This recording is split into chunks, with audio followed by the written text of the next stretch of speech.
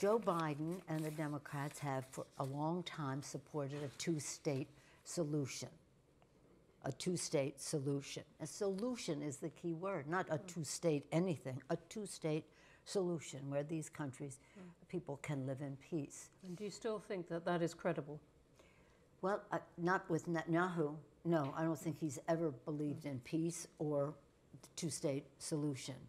I just, I, I'm just very, very disappointed. Uh, the U.S., we've always supported Israel. It is a, a, our ally. We shared values. It was in our national strategic interest to support Israel. We continue to support Israel, but not the um,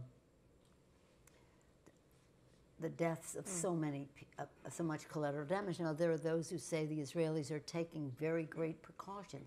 Well, clearly, clearly not enough. Um, but with, the U.S. government had put uh, pressure for a two-state solution. This was what 1991.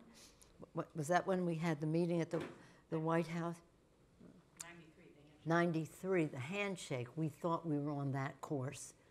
Then, when Bill, when Bill Clinton had uh, the leaders uh, at the White House, but uh, I think the uh, leadership of Netanyahu all these years has been counter to that.